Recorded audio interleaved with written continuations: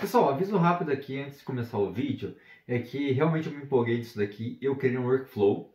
Então esse workflow vai estar disponível no link aqui abaixo da descrição do vídeo.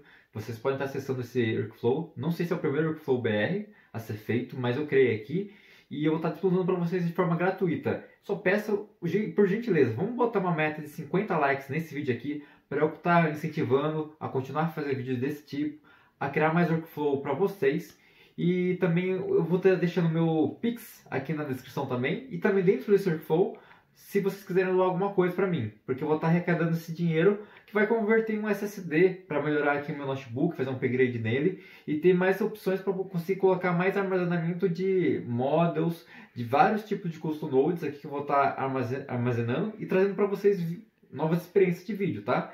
Então, por favor, já deixem esse like aqui, acesse a Airflow se vocês quiserem ver e fiquem com o vídeo, valeu? Então, essa versão aqui é mais upgradada, essa versão aqui é 1.5, eu vou mostrar algumas diferenças aqui para vocês rapidinho. Pessoal, esse daqui é o Workflow 1.5, né, que eu criei. Então tem algumas coisas diferentes. Você pode ver aqui que eu já organizei aqui em grupos. Tem algumas anotações também, tanto em português para inglês também. É, eu criei essa parte aqui todinha. Não sei se alguém fez um workflow de sticker, se está parecido, se está idêntico, eu não faço ideia, eu não baixei nem workflow de sticker. Eu fiz por conta própria, não quis ver. Eu sei que existem alguns, mas eu não quis ver como é que estão. Então esse daqui é o meu estilo. É um é bem simples aqui, rapaziada, bem simples.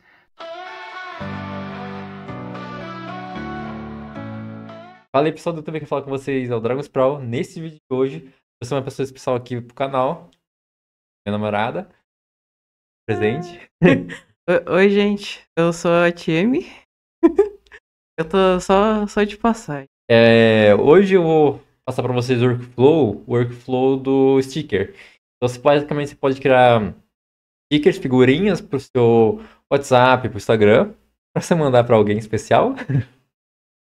e dessa vez aqui a gente vai estar tá criando junto. Vou estar tá explicando um pouco desse workflow e vou mostrar para vocês alguns stickers que eu criei também. Bom, basicamente a gente está aqui nesse workflow. É, então, o que, que foi pedido para eu criar foi um sticker da Freire, né? no processo, eu tentei fazer vários stickers e deram muito errado. Vou falar o, o, que aconteceu aqui por ter dado errado. Explicar como que vocês podem estar resolvendo também. Qual que foi o sticker que você mais gostou? O sticker foi legal? Eu acho que da Freire normal ficou legal, tipo, ficou bem bacana. Uh, uns de gato aí que eu gostei, principalmente do gato preto, eu acho. Legal também. É porque não, não teve muita coisa para bugar. o resto eu, eu não vi direito, na verdade. teve um das Freeling que deu é, tudo errado, né? Aqui, ó.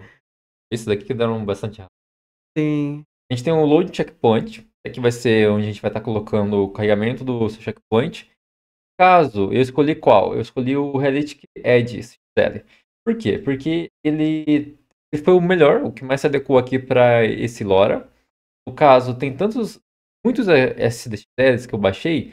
Uh, tem esse daqui, o SDXL versão 1. Foi onde o próprio, o próprio LoRa mostrou de exemplo que dá para utilizar. Só que eu não consegui utilizar muito bem esse checkpoint. Daí eu coloquei pro Dreamshipper. Foi um dos que ficou bom também. Mas o último que eu utilizei foi esse Realistic Edges, que foi o melhorzinho que saiu. Que saiu esses últimos aqui, foi o que mais ficou bonito. Mas é, eu utilizei dois loras. Você pode estar utilizando mais que dois loras, eu utilizar dois. Uh, um, sabe qual que é esses loras aqui? Você sabe? Não faço ideia. Eu, eu não sou do, da AI, eu sou absolutamente da arte mesmo, tradicional. Então, pra mim é tudo muito confuso. Tá. Ah, esse workflow, na, na verdade, eu que criei, tá? Um workflow, bla, um workflow bla... básico. Isso. É um workflow, workflow básico e consiste em quê? No checkpoint, dois loras. Fora aqui, por exemplo, ele é o hard logos. Sabe, pra que serve esse? Ideia. Ah, o nome já diz. É, logo, né? Você... Sim, ele basicamente é entre aspas, logo, mas na verdade eu utilizo mais para fazer texto. Eu vou ver se está gravando, tá? Tá bom. bom. Eu dei uma olhada se estava gravando. tá gravando, sim. É, então, basicamente ele consiste em fazer esse texto funcionar. Uh, e esse outro aqui, esse outro LoRa, é o do sticker. Então ele basicamente pega o que a gente tem de base e transforma em sticker. Hum. Então nessa base aqui tem o modelo. Ele vai passar pro outro LoRa, que no caso é de texto. Só que para fazer o da Freire, eu tive que usar LoRa da Freire. Então não, não tava aparecendo a Freire, tava aparecendo isso aqui, ó. Nossa, o que que é isso? Daí. É, é, então, a gente tem o prompt, o prompt positivo e um prompt negativo.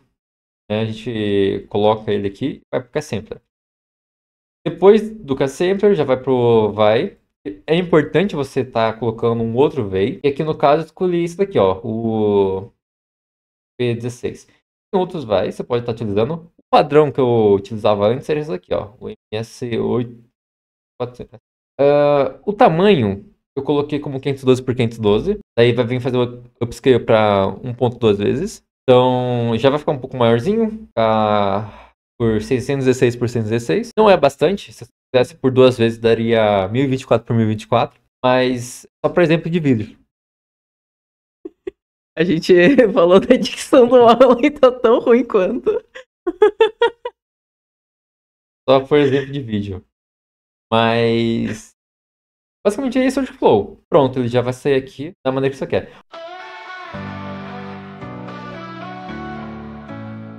Ó, a capivara ficou boa, você achou? Parece um hamster. Ah, é verdade. É, não parece uma capivara. Pra mim sempre foi um hamster. Isso daqui é. E um baú. O baú não tá parecendo um baú, né? Parece uma maleta. Parece a maleta dela. Esse daqui eu não terminei de fazer, não deu o pisqueiro total, mas era pra ser um fogo sorrindo. tá bom? Você quer freio? É. Ela só tá com uns detalhes preto, aleatório, assim, que não tem nela. Isso aqui é pra ser a freira em si, o Lora. É a freira também. o retinho aqui, ó. O retinho saiu certinho? É. Acho que sim. Aqui tá sem upscale, né? Mas a sopa, considerações. Oike! é, o texto aqui não saiu, mesmo usando o Hard Logos, não saiu legal o texto. Tá é, tá melhor, tá melhor. Só que esse aqui saiu um vai, né? Daí ele já ficou mais escurinho. E é do rock. ah, leva em consideração que é só um O. Se vocês quiserem pro próximo vídeo, ensina colocar uma imagem para criar um sticker. Tem que fazer um load image e depois colocar o checkpoint que ele vai. Valeu por ficarem aqui no vídeo. Tchau, galera. Até a próxima. Se eu estiver na próxima. Tchau. Tchau, tchau.